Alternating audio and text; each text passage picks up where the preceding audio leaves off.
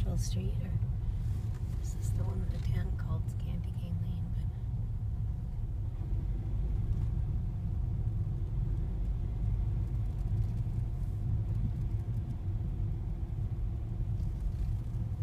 oh, look at that!